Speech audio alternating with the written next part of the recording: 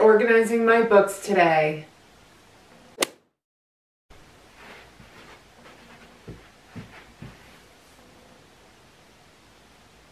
The plan, okay, we're gonna organize my books. This is like 50% of my books. The other 50% just hangs out in the closet because I don't have space. I don't have a great bookshelf. I really want to see where I can condense things, maybe put some books in my office. I've been thinking about starting like a little blind date with a book business on Etsy, maybe feel into what kind of books I want to just sell, resell, and put in a nice package for somebody else to enjoy. See what books I maybe want to take to donate to the library or those little like cute community libraries.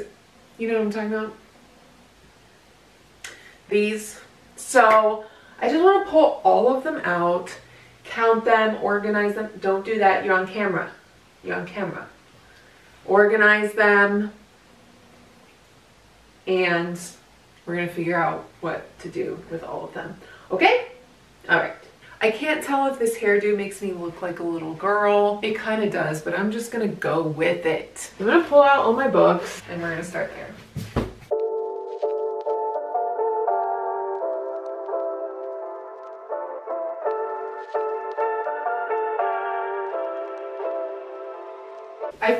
A lot of books, but like my dad has, my mom thinks it's like 7,000 books in my house. Like I have a library not just a library, like seven libraries in my house. And this is how big my library is.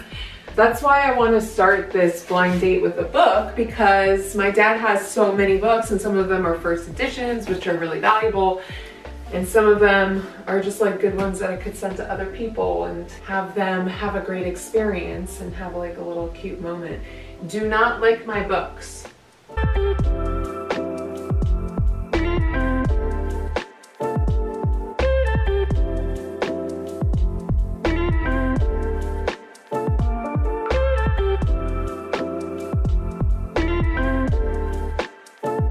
So these books are out. I, this is just this bookshelf, which feels like there's a lot of them, but the reason why it doesn't feel like much is because I have no space. If I get rid of some, that means that I can buy new books. Okay, now officially all of the books are out. Here are all the books. What a crazy amount of books this is.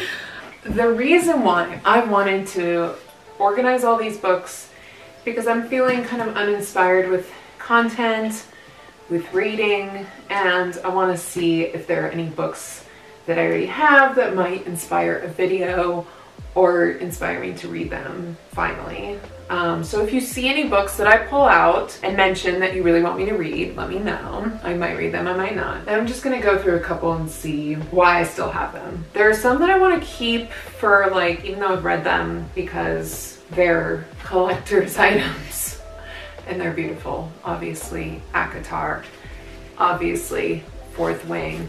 I kind of want my bookshelf to be representative of my taste right now.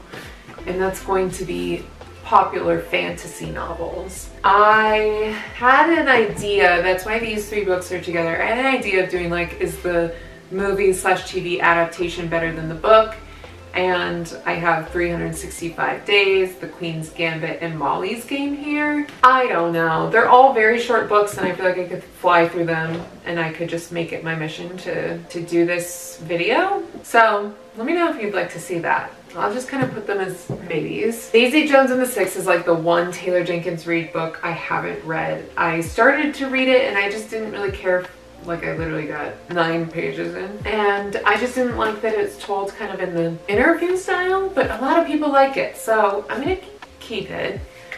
I might read it. I'm gonna put it with the other Taylor Jenkins Reid books. These are for sure's. We're gonna put for sure's on this side. I have so many self-help books I do not want to own because I do not care about helping myself.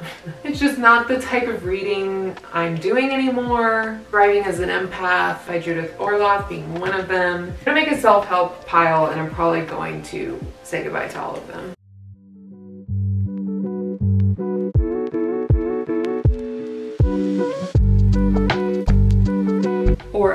The Secret. Buy yourself the fucking lilies. You can see I was like clearly having a time.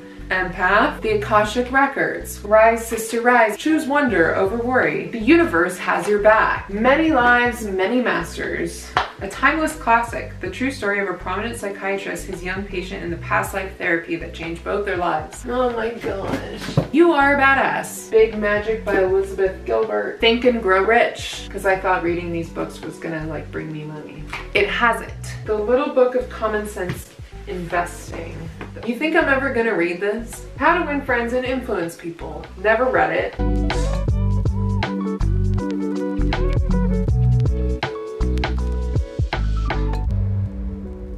The Care and Keeping of You.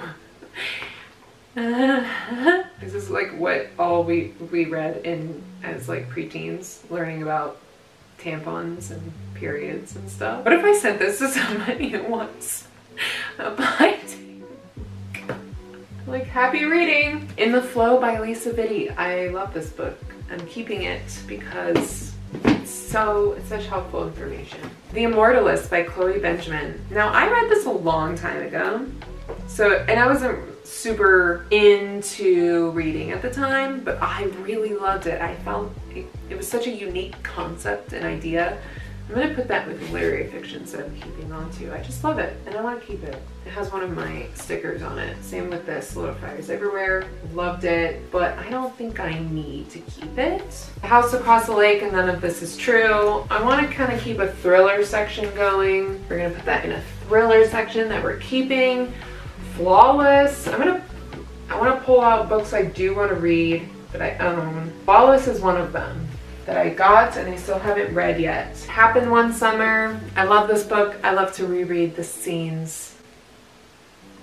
The scenes. So I'm going to keep it. We're going to make a romance pile. Well, theoretically, this is another one of my favorite romances. Keeping that in the romance pile. Beach read. I DNF this book at 200 pages. Everybody loves it. I did not. And go check out my other video of why I didn't like this book. And you know what? Magnolia Parks is in the same boat. I DNF'd Magnolia Parks at like 326 pages. It wasn't my thing. And I made a whole video about why I didn't like these books. It could be a good video to like re retry these books at another time. So maybe that's a video that I should do is like retrying books that I didn't like and DNF'd at first. So we'll put them in their own pile. If not for a video, they would be great as Blind Date with a Book books. Happy Place by Emily Henry. This was okay. I more so just want to keep it for the cute cover. The roughest draft I loved. So we'll put it with the romances. Addicted to You. This is a really popular series. It was like a three star for me. I It was okay. I didn't love it. Circe. I never read this. It was popular at the time. I feel like it's one of those that like if you don't read it when it's popular, it kind of loses its steam for me. I hate that it's jagged edges of the pages. I hate that more than anything. This might be a good blind date with a. Book. The Hotel Nantucket by Elin Hilderbrand. This is a great blind date with a book book. I started it, DNF'd it at 76 pages. Blind date with a book pile. Okay, my camera is about to die. So I'm going to organize the rest of these books. It's going to be more of the same. And then I'm going to come back and show you kind of how I've organized them, what I'm thinking. And we'll go from there.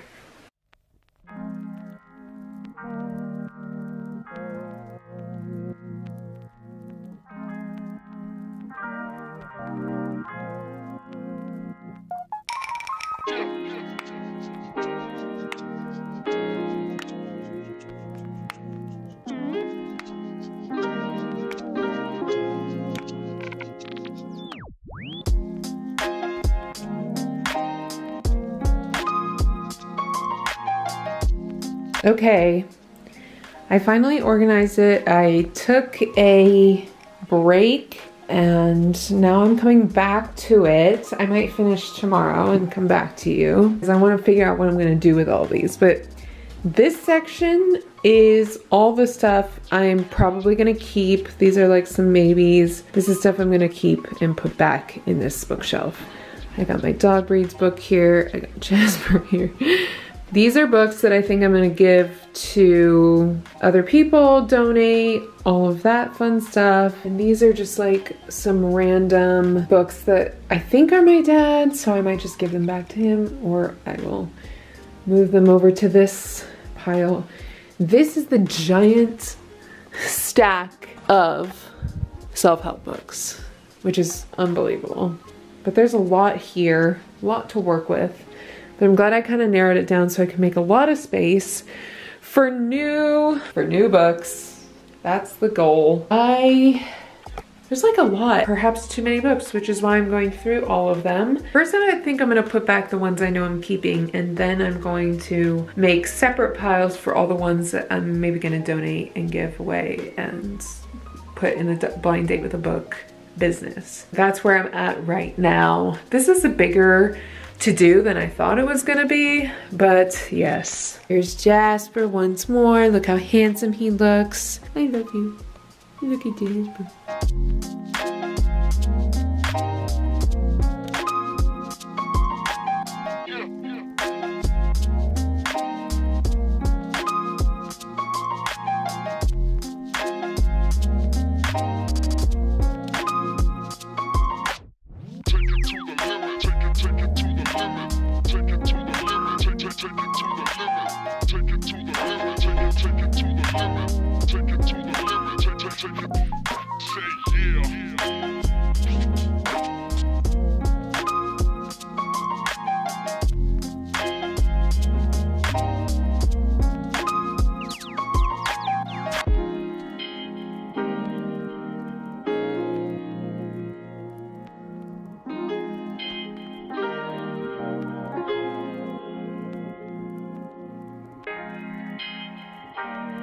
So this is the final shelf. It looks so bare now, but I'm glad because that means I can buy more books and put on here. I got my fantasies.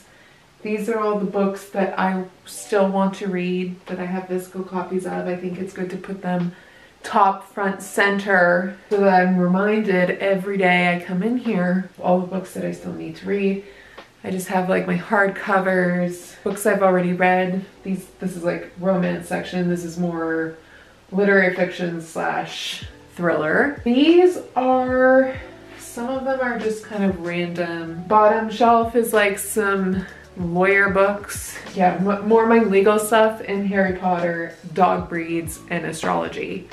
If that's not my brand, what is? Wait, hold on. This is like so my brand. Sex and the Constitution, lawyery books, being a feminist, Harry Potter, dog breeds, and astrology. If that's not my brand, what is? I'm gonna still try to figure out what I wanna do with the rest of these books, which is like another at least 100 books I'm looking at that I think I wanna give these away or put some of these in a blind date with a book business on Etsy and send these to a new home and have them be like a fun experience for someone else and make it a whole package that's kind of what I'm thinking. I'll make an additional video for that if that's something you want to see. Let me know in the comments below.